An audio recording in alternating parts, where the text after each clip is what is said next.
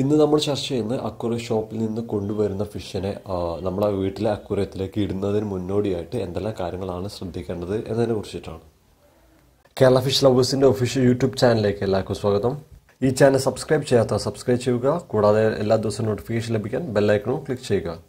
ഇന്ന് ഈ വീഡിയോയിൽ നമ്മൾ ചർച്ച ചെയ്യുന്നത് അക്കൂറി ഷോപ്പിൽ നിന്ന് കൊണ്ടുവരുന്ന ഫിഷിനെ എങ്ങനെയാണ് നമ്മൾ വീട്ടിലെ അക്കൂറത്തിലോ അല്ലെങ്കിൽ വീട്ടിലെ ഒരു കുളത്തിലൊക്കെ ഫിഷിന് ഇടുന്നതിന് മുന്നോടിയായിട്ട് എന്തെല്ലാം കാര്യങ്ങളാണ് നമ്മൾ ശ്രദ്ധിക്കേണ്ടത്.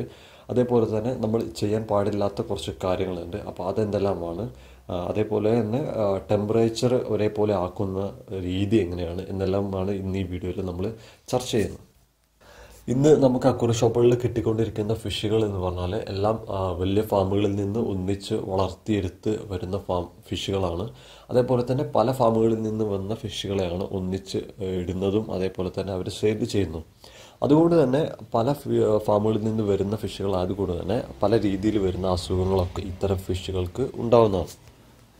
രണ്ടായിരത്തി ഒമ്പതിൽ Thoothukudi fisheries college and research institute ഇതിലൊരു പഠനം നടത്തിയിട്ടുണ്ടായിരുന്നു. ആ ഒരു സ്റ്റഡിയിൽ അവർ പറഞ്ഞിരിക്കുന്നത് ഏകദേശം നമ്മളൊരു നൂറ് ഫിഷിനെ എടുത്തു കഴിഞ്ഞാൽ അതിൽ ഏകദേശം ഒരു നാൽപ്പത് പേഴ്സന്റേജോളം ഫിഷുകൾക്ക് ചെറിയ രീതിയിലുള്ള ഒരു അസുഖങ്ങൾ കാണുന്നുണ്ട്. ഈ ഒരു നാൽപ്പത് പെർസെന്റേജിൽ ഏകദേശം മുപ്പത് പെർസെന്റേജോളം ഫിഷുകൾക്ക് അസുഖം വരാനുള്ള ഒരു കാരണം എന്ന് പറഞ്ഞാൽ വെള്ളത്തിന്റെ മോശമായ ഒരു കണ്ടീഷൻ കാരണമാണ്. ബാക്കി കാരണങ്ങൾ എന്ന് പറഞ്ഞാൽ ഈ ഒരു ഫിഷിന്റെ ഒക്കെ ട്രാൻസ്പോർട്ടേഷനിൽ വരുന്ന കുറച്ച് കാര്യങ്ങൾ അതേപോലെ തന്നെ കുറച്ച് അൺനോൺ ആയിട്ട് വരുന്ന കുറച്ച് ഫാക്ടേഴ്സ് ഉണ്ട്. അപ്പോൾ അത്തരം കാര്യങ്ങൾ കൊണ്ടാണ് ഇത്തരത്തിലുള്ള അസുഖങ്ങളൊക്കെ കണ്ടുവരുന്നത്. അപ്പോൾ ഇത്തരം സാഹചര്യത്തിലൊക്കെ വളർന്നുകൊണ്ടിരിക്കുന്ന ഫിഷിനെ നമ്മൾ വീട്ടിലെ അക്വറിയത്തിലോ അല്ലെങ്കിൽ വീട്ടിലെ കുളത്തിലേക്കൊക്കെ ഇടുന്നതിന് മുന്നോടിയായിട്ട് നമ്മൾ കുറച്ച് കാര്യങ്ങൾ ശ്രദ്ധിക്കേണ്ടതുണ്ട്. ഇല്ല എങ്കിൽ ആ, ഒരു ഫിഷിന് വരുന്ന അസുഖം നമ്മൾ വീട്ടിലെ അക്വേറിയത്തിലുള്ള ഫിഷുകൾക്ക് വരികയും പെട്ടെന്ന് തന്നെ എല്ലാ ഫിഷുകൾ ചാവാനുള്ള ഒരു ചാൻസ് വളരെയധികം കൂടുതലാണ്. അതുകൊണ്ട് തന്നെ നമ്മൾ എന്തെല്ലാം കാര്യങ്ങളാണ് നമ്മൾ പുതിയൊരു ഫിഷിനെ ഇൻട്രൊഡ്യൂസ് ചെയ്യുന്നതിന് മുന്നോടിയായിട്ട് എന്തെല്ലാം കാര്യങ്ങളാണ് ചെയ്യാൻ പാടുള്ളത് അതേപോലെ തന്നെ ചെയ്യാൻ പാടില്ലാത്ത കുറച്ച് കാര്യങ്ങളുണ്ട്. അപ്പോൾ അവ എന്തൊക്കെയാണ് എന്നുള്ളത് നോക്കാം. അപ്പോൾ ഇത്തരത്തിലുള്ള കവറുകളിലാണ് നമുക്ക് ഷോപ്പുകളിൽ നിന്ന് കിട്ടുന്നത്. ഇത്തരത്തിൽ കവറുകളിൽ നമ്മൾ ഫിഷിനെ കൊണ്ടുവന്നു കഴിഞ്ഞാൽ നമ്മൾ ഏത് അക്കുറത്തിലാണോ അല്ലെങ്കിൽ ഏത് പോണ്ടിലാണോ ഇടേണ്ടത് ആ ഒരു പോണ്ടിലേക്ക് നമ്മൾ ഇട്ട് വെക്കുക. ഏകദേശം ഒരു ഇരുപത് മിനിറ്റോളം നമ്മൾ ആ ഒരു കുളത്തിൽ തന്നെ ഈ ഒരു കവർ ഇട്ട് വെക്കുക. കാരണം ആ ഒരു ടെമ്പറേച്ചർ റെഡിയാക്കുന്നതിന് വേണ്ടിയിട്ടാണ് നമ്മൾ ഈ ഒരു ഫിഷിനെ ആ ഒരു കവറിൽ ഇട്ട് വെക്കുന്നത്. കാരണം ടെമ്പറേച്ചറിൽ വരുന്ന മാറ്റം ഈ ഒരു ഫിഷുകൾക്ക് ടെമ്പറേച്ചർ ഷോക്ക് പോലെ അടിക്കാനുള്ള ചാൻസ് ഉണ്ട്. അത് ചിലപ്പോൾ ആ ഒരു ഫിഷിന് സ്ട്രെസ്സ് കൂട്ടാനുള്ള ചാൻസ് വളരെയധികം കൂടുതലാണ്. അപ്പോൾ ആ ഒരു ടെമ്പറേച്ചർ മെയിന്റെയിൻ ചെയ്യുന്നതിന് വേണ്ടിയിട്ടും അതേപോലെ ടെമ്പറേച്ചർ ഒരേപോലെ ആക്കുന്നതിന് വേണ്ടിയിട്ടാണ് നമ്മൾ ഇത്തരത്തിൽ ചെയ്യുന്നത്. അതിനുശേഷം ഈ ഒരു പാക്വെയറിന്റെ ഫംഗി ഗാർഡ്സ് എന്ന് പറയുന്ന ഈ ഒരു മെഡിസിൻസ് യൂസ് ചെയ്യുക. ഈ ഒരു മെഡിസിൻ യൂസ് ചെയ്യേണ്ടത് പോയിന്റ് ഫൈവ് എം എൽ ഒരു ലിറ്റർ വെള്ളത്തിലേക്കാണ് ഒറ്റിച്ച് വെക്കേണ്ടത്. പല ഫാമുകളിൽ നിന്ന് വരുന്ന ഫിഷുകളായതുകൊണ്ട് തന്നെ പല രീതിയിലുള്ള എക്സ്റ്റേണലായിട്ട് വരുന്ന പല പാരസൈറ്റ്സ് അസുഖങ്ങളും ഉണ്ടാവും. അതുകൊണ്ട് തന്നെ ഈ ഒരു അസുഖങ്ങളൊന്നും നമ്മളെ വീട്ടിലെ ഫിഷുകൾക്ക് പകരാതിരിക്കുന്നതിന് വേണ്ടിയിട്ടാണ് ഇത്തരം മെഡിസിൻസ് ഒക്കെ യൂസ് ചെയ്യുന്നത്. ഈ ഒരു മെഡിസിൻസ് യാതൊരു കാരണവശാലും ഡയറക്റ്റ് ആയിട്ട് നിങ്ങൾ അക്വറിയത്തിലേക്ക് യൂസ് ചെയ്യാൻ പാടില്ല. അതിനുശേഷം നമ്മൾ ഇത്തരത്തിലുള്ള ഒരു പാത്രത്തിലേക്ക് കുറച്ച് വെള്ളം എടുക്കുക ഈ ഒരു വെള്ളം എന്ന് പറഞ്ഞാൽ നമ്മൾ ഏത് പോണ്ടിലേക്കാണോ ഫിഷിനെ ആ ഒരു കവറോട് കൂടി ഇട്ട് വെച്ചത് ആ ഒരു പോണ്ടിലെ വെള്ളമായിരിക്കണം നമ്മൾ എടുക്കേണ്ടത്. ഇനി ഒരു പുതിയൊരു അക്വറിയം എങ്കിൽ ആ ഒരു പുതിയ അക്വറിയത്തിലേക്ക് വെള്ളം നിറച്ചിരിക്കുന്ന ആ ഒരു വെള്ളം തന്നെയാണ് നിങ്ങൾ ചെറിയൊരു ബക്കറ്റിൽ എടുക്കേണ്ടത്. ഏകദേശം ഒരു രണ്ടോ മൂന്നോ ലിറ്റർ വെള്ളം എടുക്കുക. ആ ഒരു ഫിഷിനെ കൺസിഡർ ചെയ്തതിന് ശേഷം മാത്രം വെള്ളം എടുക്കുക. വലിയ ഫിഷുകളാണ് എങ്കിൽ അതായത് വലിയ വായ വരുന്ന ഫിഷുകളാണ് എങ്കിൽ അത്തരം ഫിഷുകൾക്ക് കുറച്ച് അധികം ഏകദേശം ഒരു മൂന്ന് ലിറ്ററോളം വെള്ളം എടുക്കുക. അതല്ല ചെറിയ ഗപ്പി പോലുള്ള ഫിഷുകളൊക്കെ ആണ് എങ്കിൽ ഏകദേശം ഒരു രണ്ട് ലിറ്റർ മാത്രം വെള്ളം മതിയാവും.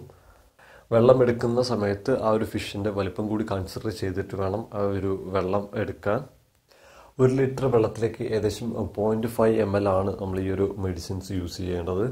ഈ ഒരു മെഡിസിൻ ഉപയോഗിക്കുന്നതിന് മുന്നോടിയായിട്ട് നന്നായി ഷെയ്ക്ക് ചെയ്യുക. ഷെയ്ക്ക് ചെയ്തതിനു ശേഷം മാത്രം യൂസ് ചെയ്യുക. ഈ ഒരു മെഡിസിൻ എന്നല്ല നമ്മൾ ഏതൊരു മെഡിസിൻസ് യൂസ് ചെയ്യുന്നതിന് മുന്നോടിയായിട്ട് നന്നായിട്ട് ഷെയ്ക്ക് ചെയ്തതിന് ശേഷം മാത്രമേ നിങ്ങൾ ആ ഒരു മെഡിസിൻസ് യൂസ് ചെയ്യാൻ പാടുള്ളൂ. ഏകദേശം ഈ ഒരു കളർ കിട്ടിക്കഴിഞ്ഞാൽ നമ്മൾ ആ ഒരു ഫിഷിനെ ആ ഒരു ബക്കറ്റിലേക്ക് ഇടുക. ബക്കറ്റിലാണ് ഇത്ര മെഡിസിൻ കലക്കുന്നതെങ്കിൽ ഇത്തരത്തിലുള്ള ഒരു ഗ്ലാസ് ഉപയോഗിച്ചിട്ട് അതിന്റെ കളർ നിങ്ങൾ ചെക്ക് ചെയ്യുക. ഫിഷിനെ ഇടുമ്പോൾ ശ്രദ്ധിക്കേണ്ട കുറച്ച് കാര്യം എന്ന് പറഞ്ഞാൽ യാതൊരു കാരണവശാലും ആ ഒരു ഫിഷിനെ വെള്ളത്തോടു കൂടി ആ ഒരു വെള്ളത്തിലേക്ക് ആ ഒരു മെഡിസിൻസിലേക്ക് ഒഴിക്കരുത്. നമ്മൾ തുറന്നു വെച്ചതിന് ശേഷം ആ ഒരു ഫിഷിനെ മാത്രം എടുത്തിട്ട് ആ ഒരു മെഡിസിൻസിലേക്ക് ഇടുക.